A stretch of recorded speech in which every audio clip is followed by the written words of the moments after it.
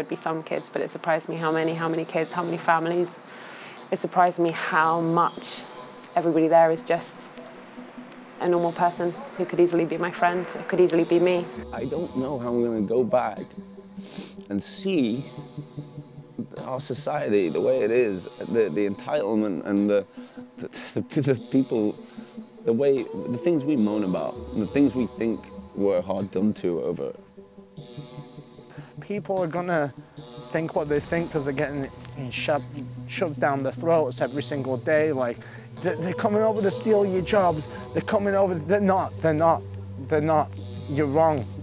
Like, you're wrong. But I understand why you think that, but I want to give a true representation of what is going on on the island. What is going on in the entire region. What is going on in the world. They've been through so much that you would think that, that everybody would be completely closed down, right? Like at home, it's like everybody's shut down by the pressures of life, by the, by the difficulties of life. Then you see people uh, who have been through um, unbelievable stuff. And they're not like that. If, if everyone could come here and see with their eyes, have a personal experience with these people, they would change their entire life. If not their life, the way they look at the world.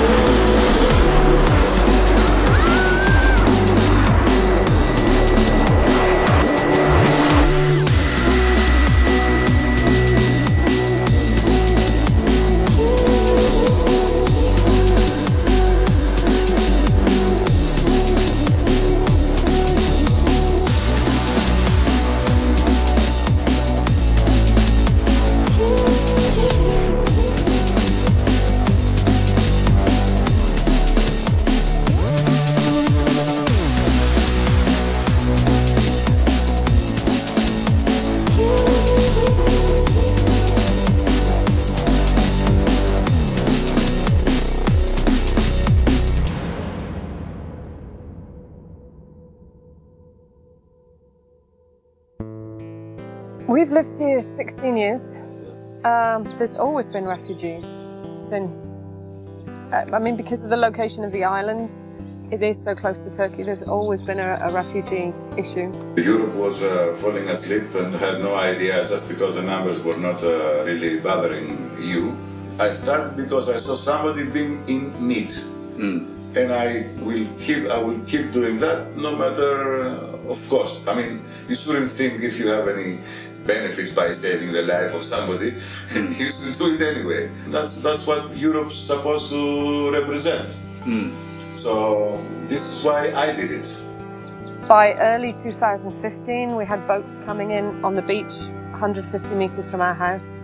So um, that's how we got involved. It's kind of impossible not to when you're taking your child to school and there's women, children, families on the beach crying, exhausted, in trouble. Five to 10,000 people were landing on Lesbos' shores every single day. There were days here with 25, 30,000 people, many of them camping out on the streets. Just three, three weeks ago, on the shoreline, we received a boat, and on that boat was an 89-year-old Yazidi woman traveling with her nephew. She, she couldn't walk, she had to be supported. She couldn't speak any other language but, uh, but uh, Arabic. What would force this woman to, first of all, leave her home? Obviously, she's been subject to either war or persecution or, or abuse that, that, that was intolerable, so she had to move.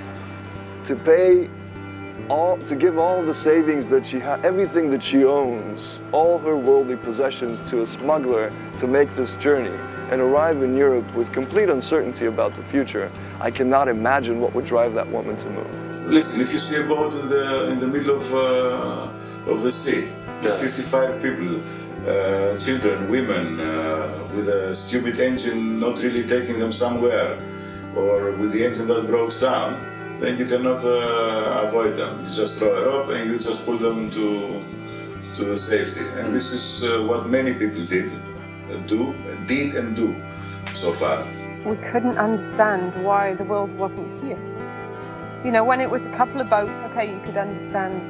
We both could not avoid the huge number of people that they will keep uh, coming uh, every day and had the need of being supported and uh, looked after and, uh, you know, be helped to to, to survive basically because it was a survival uh, issue.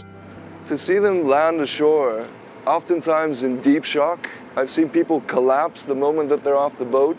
I've seen them weep with hysteria. I've seen them showing and exhibiting pure joy and, and love for, for the others on the boat and happiness to see that they're being supported and greeted by people who, who are, are there to, to help them.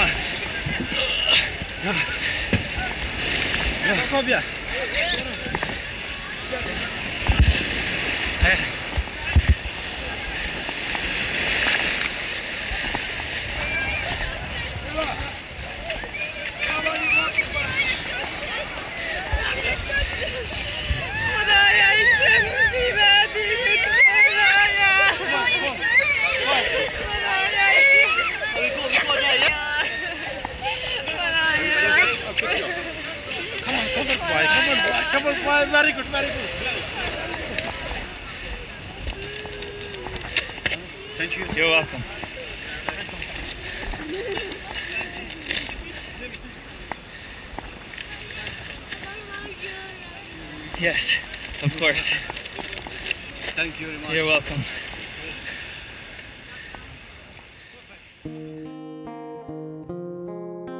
As the boats went from one every couple of days to one every day to 10 every day to the peak was um, over 200 on just the coast here in one day. So it was 12,000 people. Just a few people helping the refugees. We had the majority of the village saying that by helping the refugees, you're giving the wrong sign, so more refugees are going to come, so the economy is going to be fucked up. Okay, we have to live with it. Hmm. That's my answer. I mean, I cannot just close my doors or I cannot start shooting the people so they don't arrive here. Lesbos is the place where you'd have locals sipping, a, sipping coffee or going about their business, and then the next moment going ashore and helping people as they arrive, bringing them dry clothes, giving them water, making sure that they're landing safely. At the same time, you have this extremely overwhelming compassion from all around the world. Last summer, as the Greek state was really overwhelmed and couldn't respond to the emergency, you had hundreds of volunteers coming from the United Kingdom, from Sweden, from the Netherlands, from Spain, of Greek nationals coming together and really forming the backbone of this response, whether it was search and rescue at sea with the Coast Guard, whether it was lifeguards on the beach, whether it was medics on the beach, whether it was in the facilities. This was mostly done by volunteers. Uh, we we come here to try to help in this humanitarian crisis. Uh, uh, and the, the objective of our ONG is uh, to be here in the castle of um, do a preventive work, uh, watching the sea, uh, waiting to see a, a dinghy uh, on the sea, and if we see it, we have to to save it in a, a WhatsApp chat to to ask help because when a dinghy arrives, uh, every help is necessary. What can I do as uh, a human? I mean, what my human feeling is telling me. My human feeling is telling me if you fall down, I will give you my hands to help you to lift up. I know that you're not used to it. In England, for instance, if somebody falls down, you just keep walking. Here we're a bit different. Yeah. We care about each other. But all the stuff that's here was sent by people from around Europe. We were never supported by any big NGOs. So we were amazed at the the European people, oh, well, people around the world who just either sent uh, clothes that they had or they had a collection in their community and sent like piles of diapers, um, baby wipes, kids' clothes. It was amazing. I mean, all of this is just from individuals.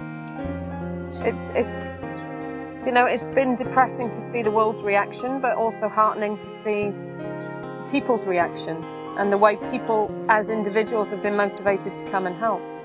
I'm not a flower power guy. I just want to help out. I want to teach my daughters, listen. I don't want to teach them anything. I said that wrong. I want to show them that we like care for stuff, you know? When you make trash, pick it up. When you do this, just think about other people. How would they think about it? You wake up two, three in the morning, you're on the shoreline, you receive dozens of boats, then you're in the sites trying to support people, trying to coordinate, then you're with the media trying to explain exactly what happened, and then you're, you're, you're constantly chasing the developments. There have been so many. And you see, you see trauma, you see drama, you see death, you see despair, you also see joy, sometimes in a single hour. Um, it's extraordinary. I sleep three hours, eh? Each day during 15 days. So you have 50, 60 people on the sea with cold. Uh, perhaps uh, they don't know swimming. Uh, the jackets are not good. So it's preventive. Try to get them to a safe place to do the landing and help. Really, we focus on every day is a new day, and one day at a time, one boat at a time, one person at a time. Otherwise, it is really all consuming. If you start to think of the bigger picture, you could never continue. It's, it's impossible. And I don't think at the beginning we had a clue that we would get so involved. We really thought help would come at some point. We really thought that, oh, these big aid agencies, this is Europe, someone is going to come in and fix this. And they didn't, and it just got worse and worse and worse, and no help came. Well, it did, but in the form of individuals who were just driven to, to come and make a difference. I was on the shoreline with, uh, with our team and with volunteers. It was the 20th of January this year. Freezing cold day, three below zero. Ice cold, razor sharp wind, it was snowing. The seas were really rough, and we had 40 boats come in in just the morning. And on any of those boats, you would have families with young children soaking wet, freezing cold, hypothermia cases, and you, you assist them. It's very dramatic, and then you have to compose yourself and go to the next boat.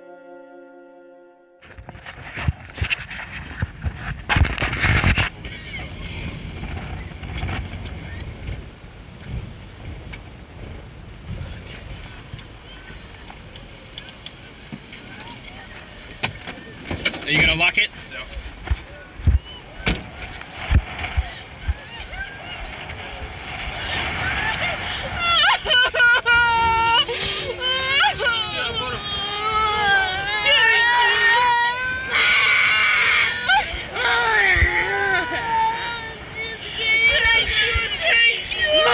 Thank you, thank you.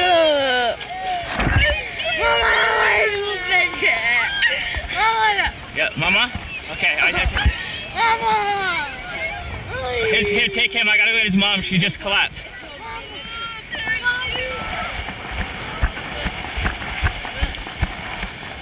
Okay. Baby is okay, baby. Baby is okay. Okay, safe. Okay, good. Madam. Okay? Okay. Yeah, she's okay? No. اصحي اصحي اصحي ايوه اصحي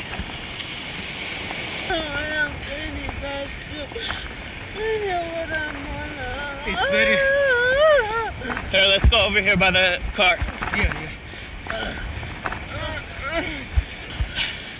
Here, more, more, more. Up, up. It's okay. It's okay. It's okay. Should we?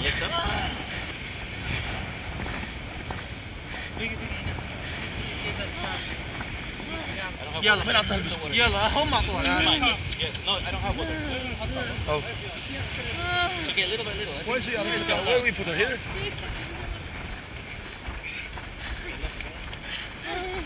يلا يلا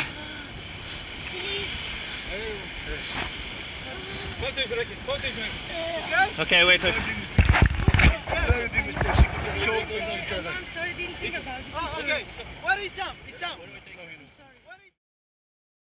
We joke in our in our office with our team that every day on Lesbos is like dog years. It's it's worth seven days. There's so many things that, that happen in a single day here that you know you could you lose track of time.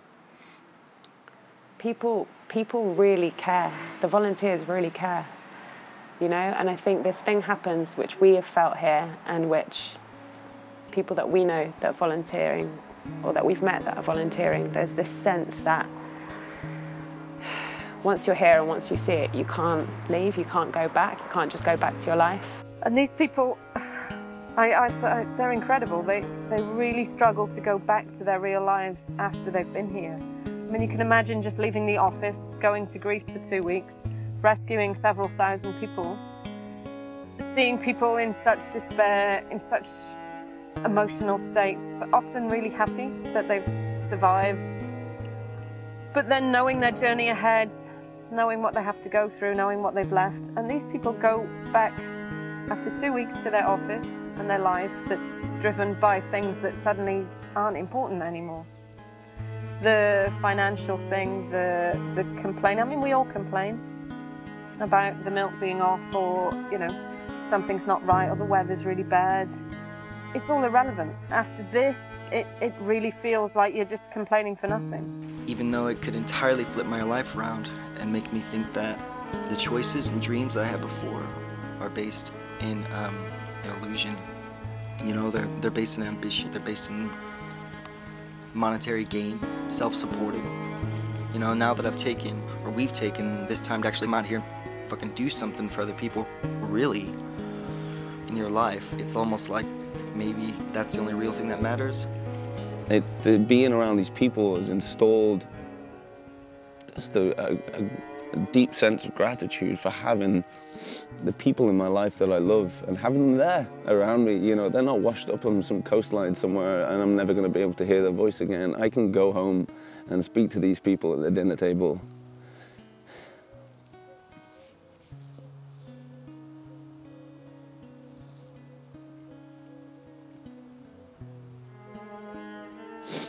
And I will. Because I get to. And I think that in some way that that's okay. Because that's what I want for these people here. And I don't think, I don't want to feel ashamed that I'm able to do that. Because I don't think they would be ashamed. In, uh, they should be ashamed if it was, you know, if the shoe was on the other foot. This, I saw this as an opportunity to open up our lives again and to really throw out what we are really about. Where in the past many people just judged us that we were like this and ah, they're crazy, they're crazy. And now I have something like, fuck you. So uh, we take this opportunity and, and with all these people together made something really special. So uh, everybody who participated here uh, are big heroes. Two out of three arrivals are either a woman or a child. The Greek state has been completely overwhelmed, but no one has done more than the locals. The locals still to this day show compassion and generosity, while many others, especially in Europe, have really forgotten what it's like to be a human being. The volunteers are just, it's, they're all in it together. It is solidarity. The volunteers and the, and the people that are staying in the camps, it is solidarity. Solidarity, the compassion, the empathy that this island has shown is equal to, to nothing else in Europe. They just can't stay away. They need to come back. Sometimes they come back now when it's calmer and they feel happier that it's under control and they're not needed. So it's kind of a closure for them. But others, as I said, we've got one volunteer now. She's um, coming out in a couple of weeks. She's gone back to sell her house, give up her job, and move here permanently just so she can be part of this. Because it doesn't make sense anymore. Every day that I choose to just go home and carry on living my life as I do in the same way while this stuff is happening, it feels, it feels wrong. If this model here on this island was representative of the whole of Europe, we would have the most tolerant and compassionate society and the European Union would, would really live up to the standards that it's built upon, the values of human rights, of diversity, of tolerance. Many people who came to volunteer came here also because they wanted to see the things uh, by themselves. And many were blown away about the misconception, how you call this, like the, the twisted reality of things. It doesn't mean that there was no drama and whatever, but uh, many people were unaware and at least uh, telling us all the time that whatever they saw on television was here the reality was totally different. The media has a, a very lopsided view of, of everything in the world. I mean, even now, the protests going on across the world about the governments and things is not mentioned in the media. It's mentioned in social networking and things, but the media doesn't cover thousands of people on the street who are unhappy. The same as the media doesn't really look into these people as people.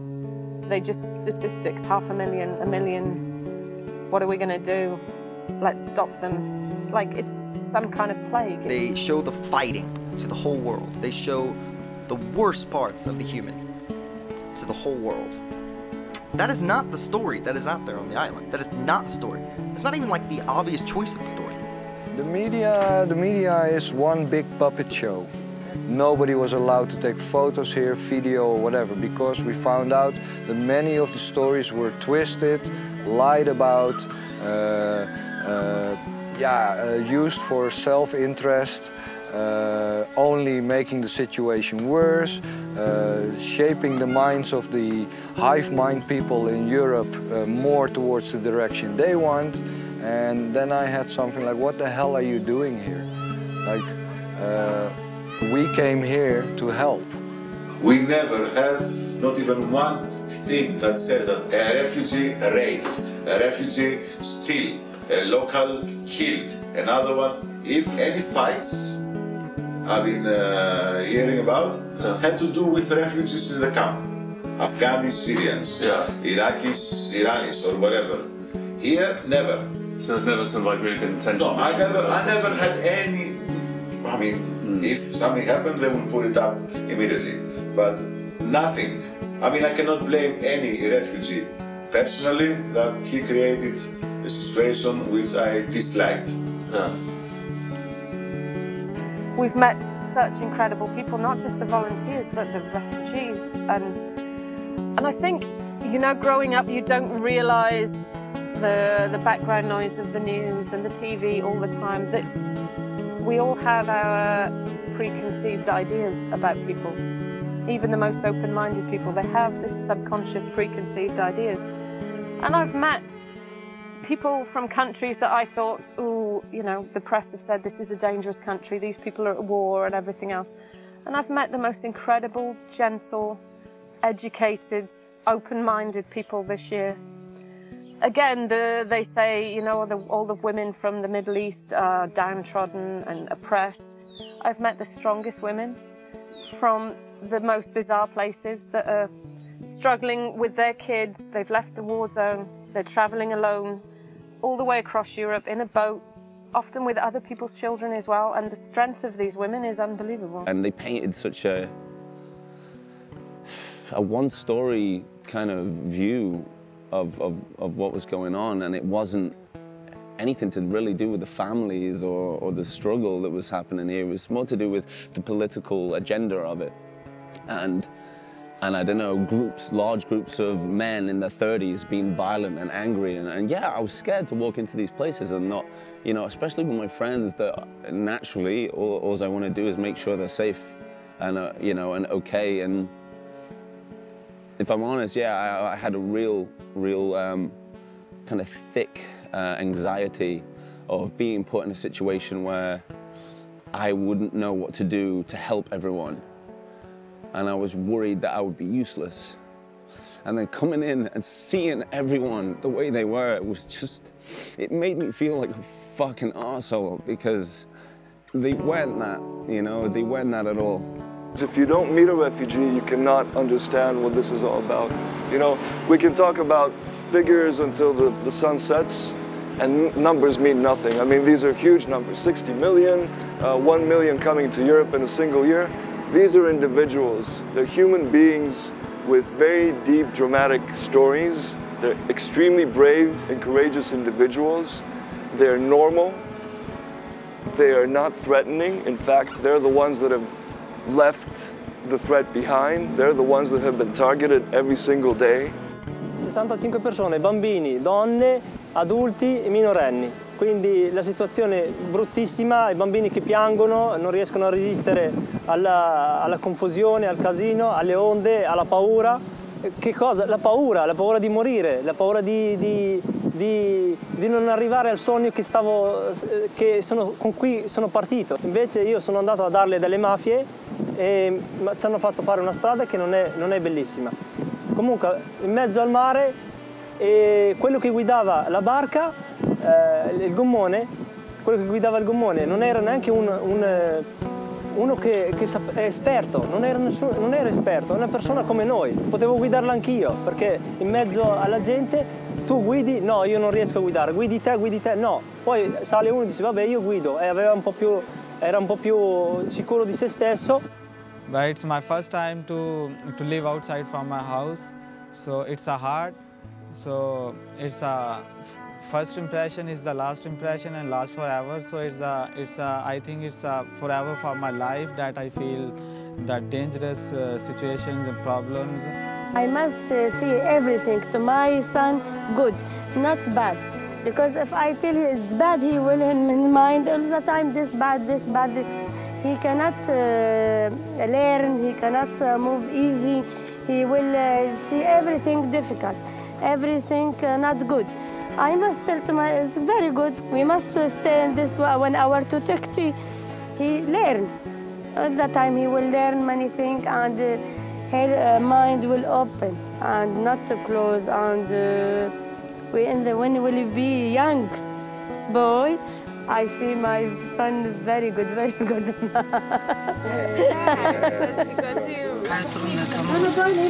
حتى من حلب دا خدا امانه کردم رازی کردم حلب کدنه حلب بینی یکی طرف میشه حلب پرند ایشی مل برتنه با جاری مخر نبیبم در ندکتم هم بدر کتن اماتن خدا امانه که من راضی بگه ما خشکه ها خلاص کرد ما گمله کذبی من نشده ما گمل تیش نده سری خشکی من ولی دعوت قیسی ما قذیفه پیشیمانی می‌کرد بسیار قیسی من بیاری که داشت شد مسمرینی هم لفرد مرن سه جهر جوه چید اکیش کم دوه دا کهت بانو مره بانو ساعت اکبی هیچ بیر بکرم از او قشکی خواه بیم برنم مای بیر بکرم بس مرین البرم ده مرین روی نقل کم لفرد مرن هذا غزل نام جمالي فقط لا غير Migrants. This has been labeled a migrant crisis. And that isn't right. It's, it's incorrect. It's false. This is a refugee crisis.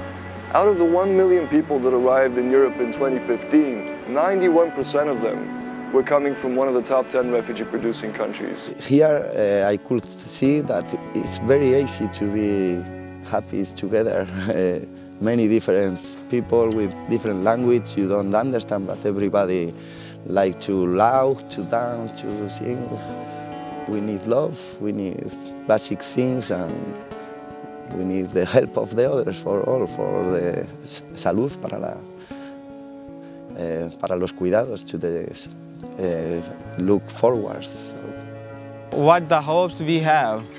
So in this way, I think uh, when you you guys listen our hopes and you spread information all over the world, so one day, and uh, and the I the time is coming. So the completion of the our hopes due to you guys.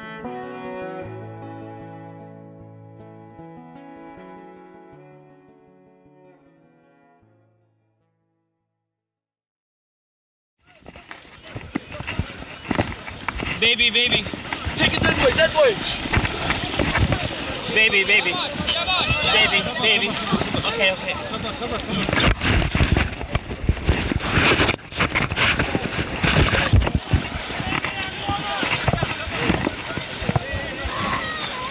Maşallah.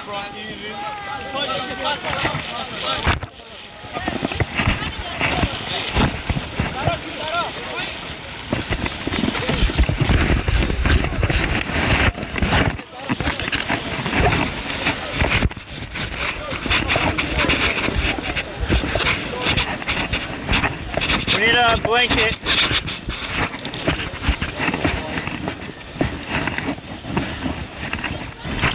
Pretty dry.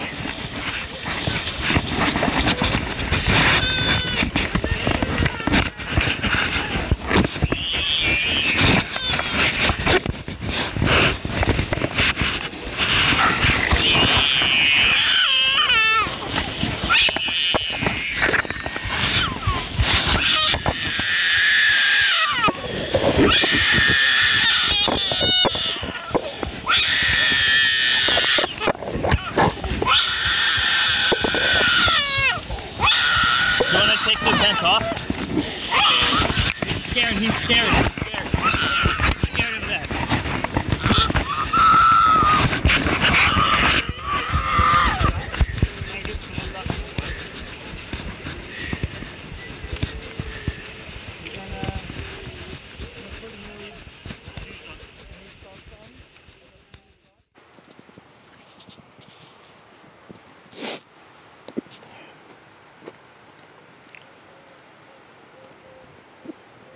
Sorry.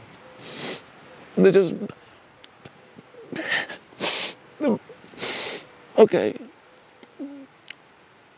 It's, it's hard when you've um, come from where we're from and we have no idea what courage really is. These guys, man, these little babies. Just open your fucking eyes. Be what you say. What you that you that you want. Be what you say that you want to be. Yeah. I mean, I don't know. Let's let's start from somewhere. Let's say that we all agree that we are humans. We all agree that we want to stop the fucking war. These people are dying. They want to live. That's it, flat out. They want a life. And we, we are, I feel like our society blames them for that. And it, f- it fucking enrages me. Now that I see it, I, I don't, it's not anger and it's not humiliation and it's not shame. It's a mixture. And there's no other reaction that comes from me apart from getting upset because I don't know how to react. To react. The, what's called the refugee crisis, I think, should really be regarded as a moral crisis in the West. The political willingness is often not there to respond until government leaders can start to make a case to their own people that it's important for domestic political purposes. Now, I'm not saying whether that's good or bad, that's just the reality of the way the world works. All you've done by telling me, by, by, by setting up this diagnosis, is, is, is created a sense of despair in me. I think maybe that sense of despair is an important first step to see the depth of the problem, a kind of pessimism of the intellect, a willingness to sort of, an ability to really struggle uh, to, uh, to, to, to, to, to not put our hand, head in the sand, not try to think that we, we try to live in a bubble, effectively live in a, the fortress, a bubble of consumer luxury and even opulence. Refugee crisis today, actually, it's easily manageable if there was uh, humane attitudes, but it may not be pretty soon. Uh, if uh, rising sea levels are predicted to cause uh, tens of millions of people to flee low-lying regions like Bangladesh, which will be uh, indescribable uh, uh, calamity. If we're scared of refugees, what are we going to do with climate migrants? Okay, 10,000 Tuvaluans, 12,000 Tokelauans. Okay, we can probably handle that. But what do you do about one third of Bangladesh? You know, 50, 60 million visas for Bangladeshis.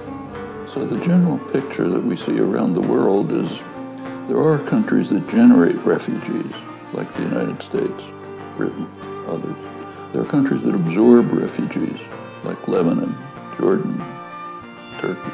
These places, all of the debate, just to show how irrational the debate is about building a fortress, making it difficult for them to come in, what it does is, is exacerbates uh, the problems that poorer countries out in the near neighborhood are going to have in dealing with right now 85% of the world's refugees are in, are in so-called developing countries. Where they enter Europe um, partly depends on the routes that are open to them at the time and where smugglers will take them. There are many women and children coming in as well. There's a lot of talk in the media about it being dominated by young men and that's, that's not borne out by the figures that are published um, internationally. Turkey has mm, over 2 million refugees. Uh, it's estimated that about 90% of them are women and children. A lot of preconceptions about what a refugee is and, and why they are here. If you go back to when I, I grew up in, in Southern California in the 1980s, right? Rambo. The Ram. There's one Rambo movie where he's out there with these uh, with these jihadis who are fighting against the Soviets. So it's reflected in the in the popular culture. It had to make a shift, and already uh, uh, easily could make those shifts to those you know those bad shifty Arabs. Uh, uh, but nevertheless, you saw bad shifty Arabs because in the United States as well, you know, Afghani, uh, Iraqi, Irani, Iranian, none of these sorts of things. It's all just some sort of again, it's a it's a comic book consciousness and sort of uh, uh, with a long history, you know, stereotypes. Uh, do they have a genetic predisposition to criminality? Obviously not. On a, at a moral level, why are these people refugees to begin with? And you think it's not a question of, of, of charity; it's a question of justice. A question of justice. But the, the, the mainstream political debate is so far away from being honest about our own, we as Western citizens, our own role in this ongoing human tragedy. Again, uh, uh, would be comical if it weren't so tragic in its human, uh, in its human dimension, that they become, they get victim, they, they get demonized as ISIS when a lot of these people are fleeing from ISIS. So, yeah. You know, some of that narrative is being led by government. So the, the, media in some ways are, are reporting a, a, narrative that's there um, being created by politicians who are trying to shape a policy agenda about who deserves protection and, and the help of governments. Yeah, actually here's people saying they pinch our jobs. Why do they say they pinch our jobs? Because they read in some rubbishy newspaper they pinch our jobs. Whereas every economic study shows that if you let refugees into your economy and allow them access to the workforce, they create at least 1.1 job for every refugee. In other words, for every 10 refugees that come into your economy, there are 11 new jobs. So they're not pinching your jobs, they're actually creating your jobs. If you are worried about losing your job because someone who doesn't speak this language well, who doesn't have an economic, sorry, doesn't have an education that's recognised in this economy, is going to steal your job, then you don't bloody well deserve one. Meanwhile, most citizens are distracted, involved in whatever the consumer kind of consciousness that they're in. And it's that era, that kind of depoliticized uh, citizenry that is susceptible to the kinds of demagogic manipulation. I I think uh, there are political parties that are trying to persuade voters to take an anti-immigration stance. The EU-Turkey agreement is um, predicated on a fundamental violation of international law, as many have pointed out, which is that a basic tenet of international law is that anyone can leave any country that they want to. And yet, the EU Turkey agreement was based on the notion that Turkey would stop Syrian refugees leaving um, and prevent them from embarking. Uh, in order to shield the, the EU from, you know, the, the influx of, of large numbers of refugees. That is, is, is a, just a, a monumental violation of basic international law that is very familiar to anybody in this field, including to members of the EU governments that uh, agreed to that treaty. The rich countries react in a striking way, keep them away from us. So Europe is bribing and pressuring Turkey to keep refugees away from its border. The U.S. is doing the same with Mexico. We, we, we created the conditions from which they're fleeing. You keep them away from our border. If they happen to get here, we'll deport them or something like that. You know, they don't just stop the boat and pick the people up. They'll sink it and leave the people in the water and then come back, pick them up later. Have a little fun by going around the boats with their smaller boat and creating a wake so they're actually filling boatfuls of women and children with water. They've got water cannons on the bigger boats. Ah, it's, it's horrible.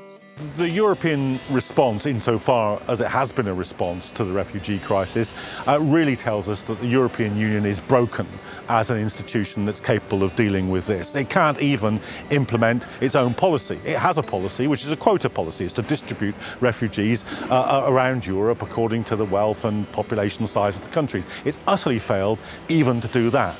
So in response uh, to this, in response to the failure of its own policy, it's simply got a push them out to sea policy. That's what they're doing with the, with the, with the refugees. It makes a mockery of the argument that Europe is about uh, the free movement of people. It's about the free movement of people if you're born here. When you look at the political realities there's no point making a value judgment about whether the politics is good or politics is bad. Politics just is. And you need to understand its dynamics so you can use those. Now, if you don't have resources, you can't do anything. If you do have resources, you can. And that can be really, really frustrating. You can sit there and literally watch people die that you could have kept alive if the right resources came in, but if you don't have the resources, there's nothing you can do. The way people are treated has an effect on the way they behave. How are these people going to think about Europe 20 years from now?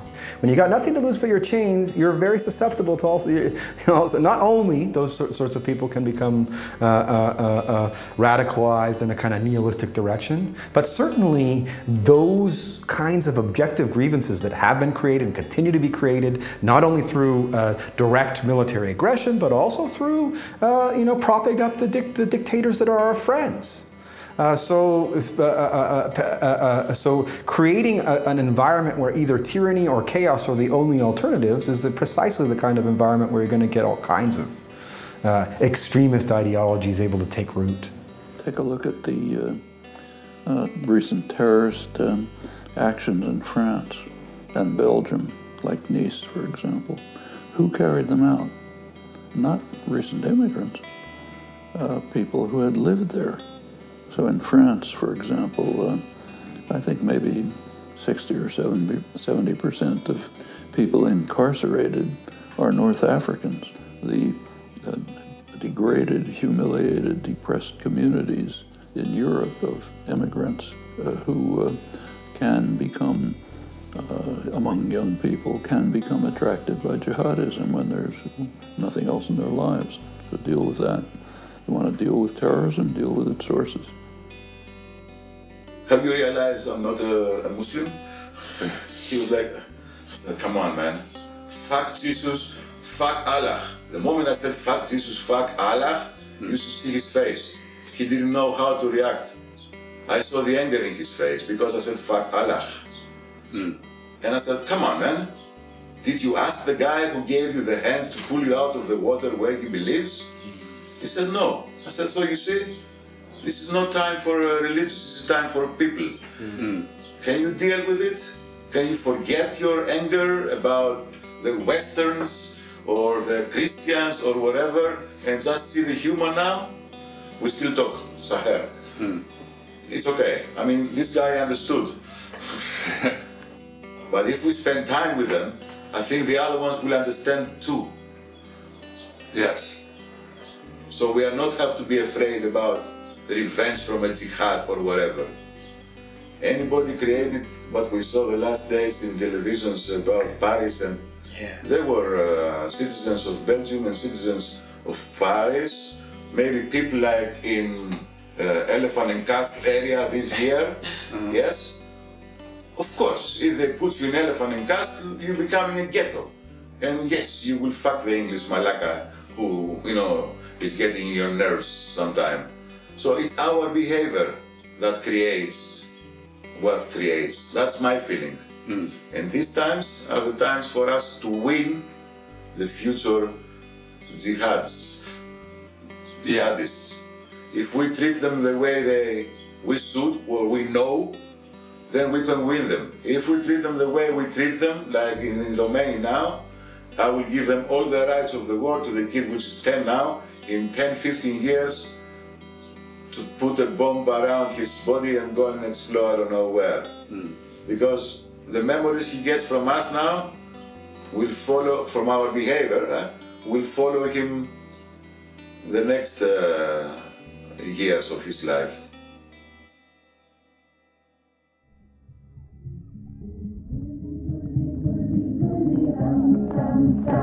Und jetzt 两米三三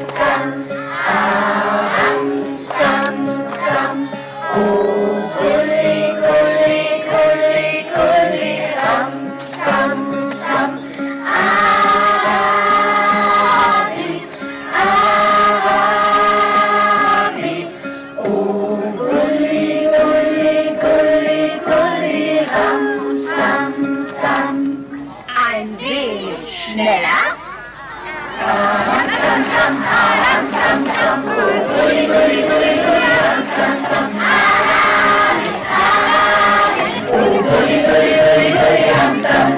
啦啦啦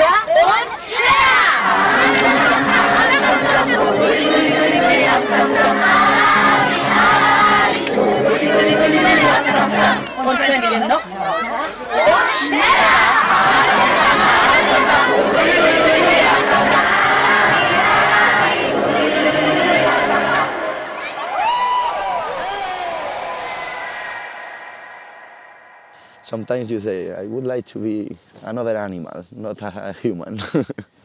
What animal would you be? a dolphin? Today. Today a dolphin, tomorrow a cat. Oh. And, and sleep with the sun. and at night go to look for a pretty cat. if I I'll be another animal, I'll be more human.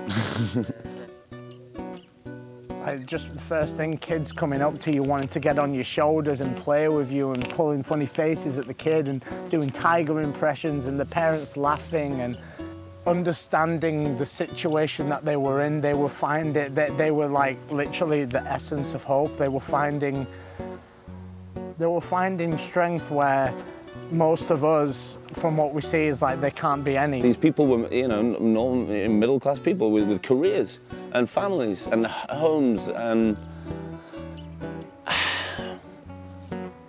And that's all, that's all they want, you know? They're not asking for a lot.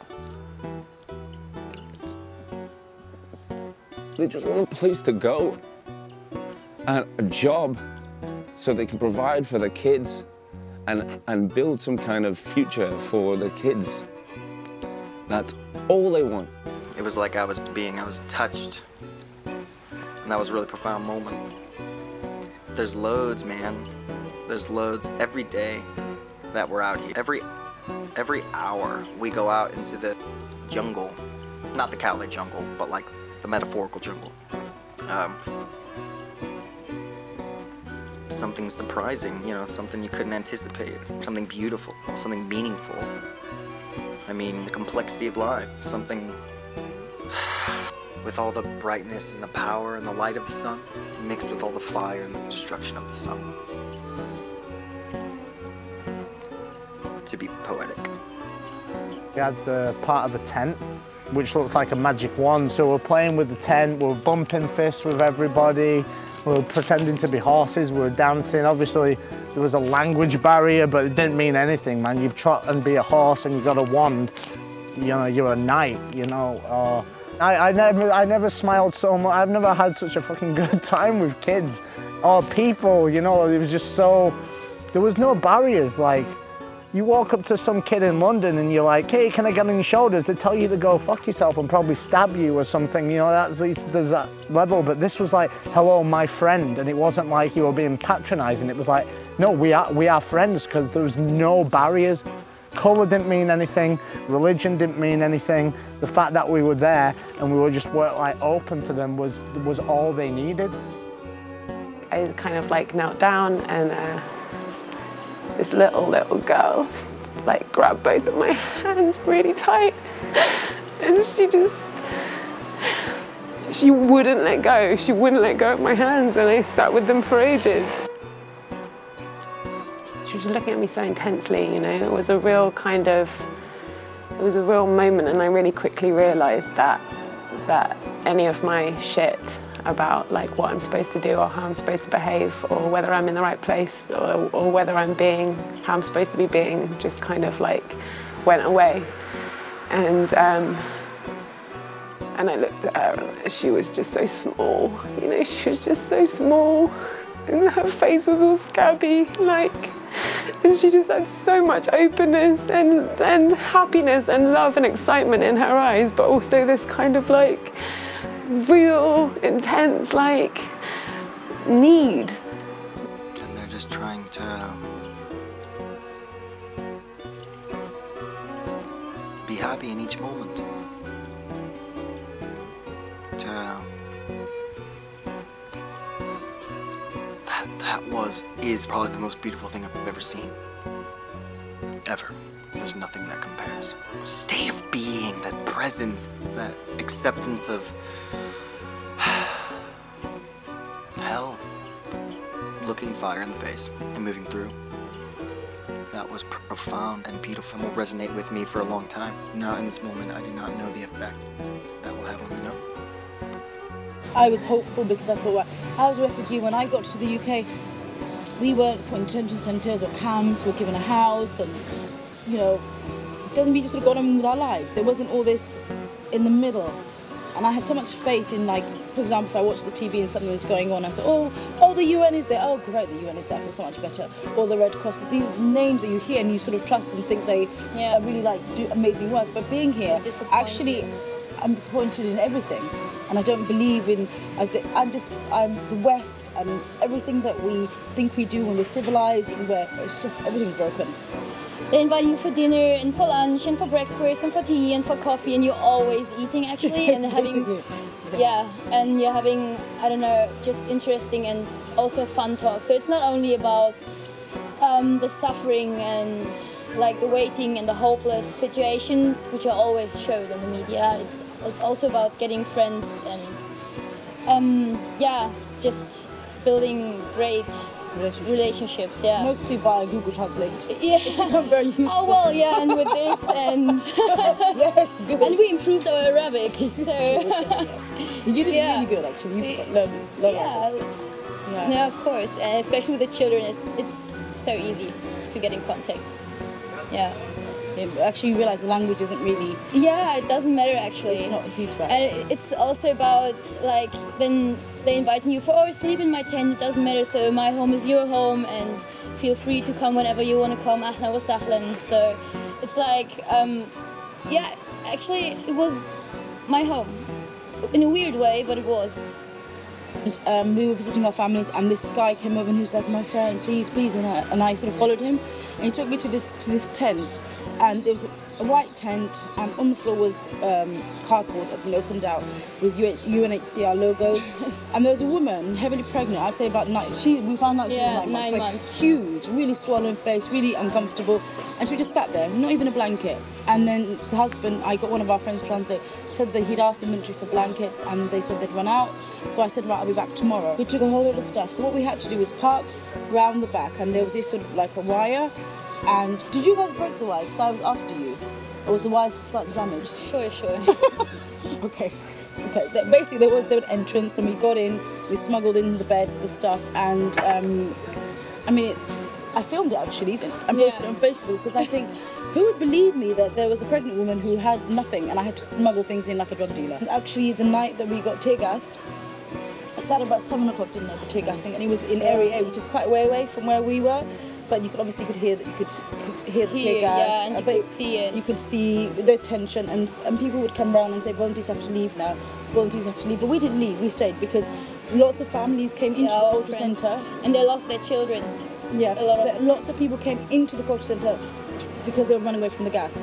So Didak, who um, runs the culture centre, had got out, got, out, got out his guitar, we put some lights on. Yeah, yeah. I was preparing my class for the next day, so I was cutting out animals. just like it was just so It was a bizarre. weird situation. It was really weird. no, yeah. And then all of a sudden, one, I don't know, pellets or whatever, came somewhere near the school. And before I had a chance to stand up and and at this point, the culture was bursting with families, people. There were people everywhere. We had a light on, so it was sort of everywhere. Everyone was coming. Then the gas came to the school, so So yeah, they um, tear got the school for and then it was just all of a sudden you can't breathe, you're choking, you, Yeah, you can't collapsing, see. yeah. We're screaming for people to leave. we were kind of prepared. I mean, when we think about that, we have to prepare ourselves for a tear gas attack in Yeah, Greece. in a school. in a school, in a refugee camp. It's, yeah, that just sort of says everything.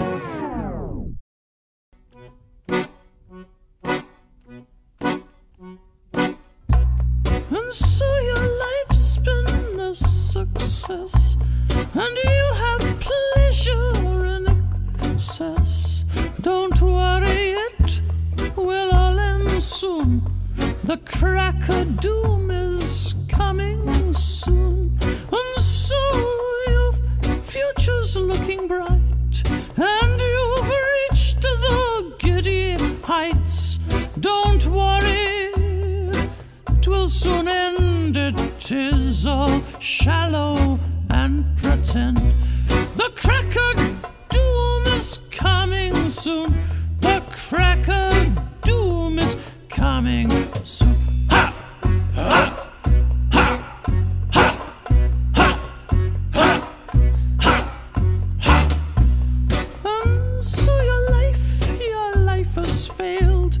you've to the progress of a snail. Don't worry, you'll get your revenge, for we're all equal in the end.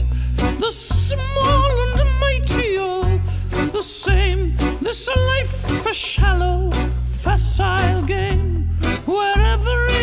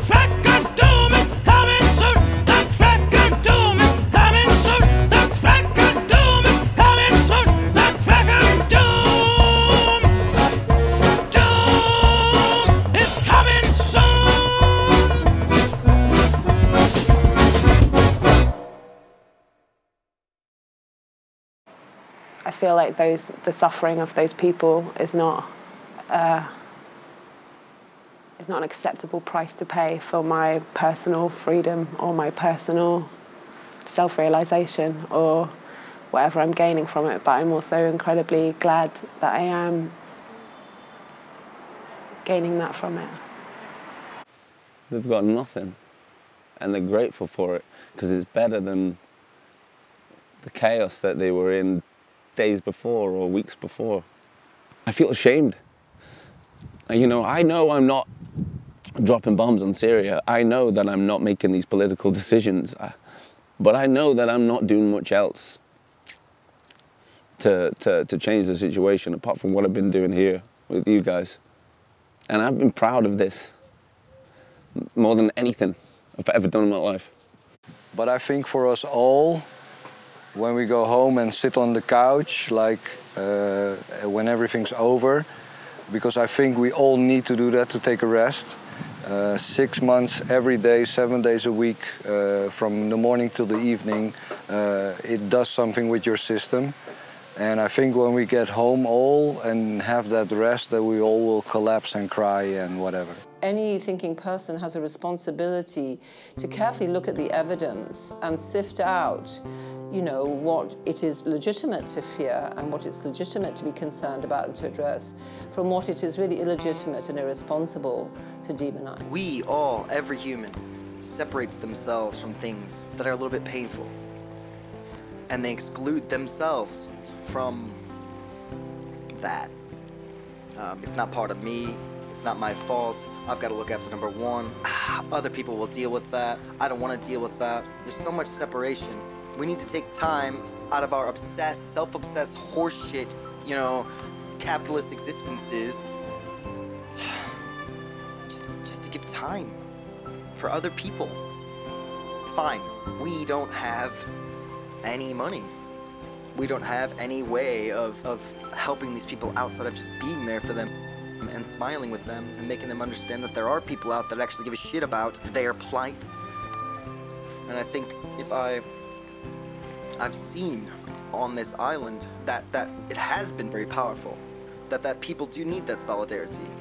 You know, I don't even think, you know, my brother lives in LA.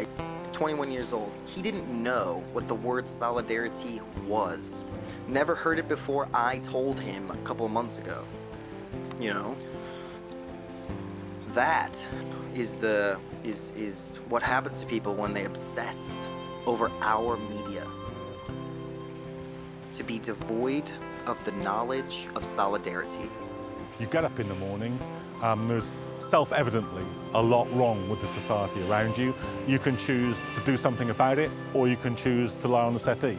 I choose to do something about it. Um, I think the way you sustain yourself over time is you have to have both the impatience to want to change things now and a historical view about how change comes about. The impact of what you do may take a long time to play out.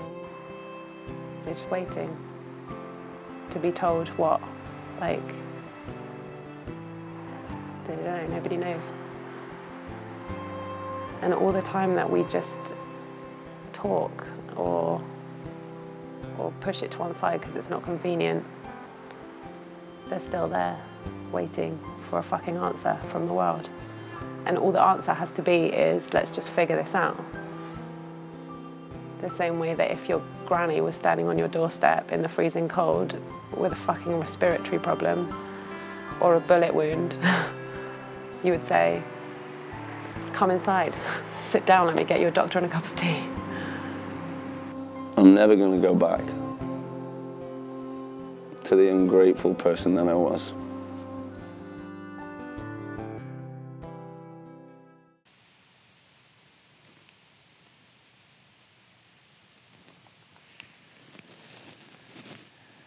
in the midway of this. Our mortal life.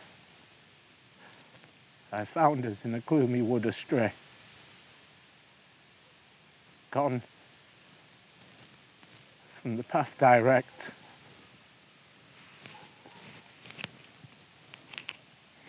How savage wild that forest. how robust and rough its growth, which to remember only our dismay renews in bitterness not far from death. My senses down the true path I left.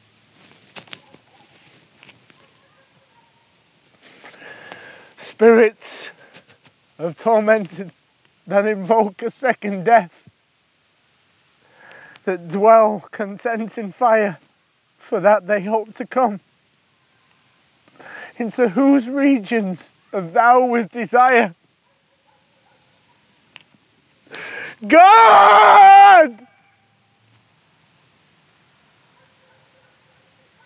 Who thou didst not adore,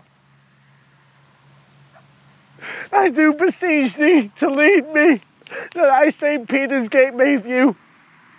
Through me I pass into the city of woe.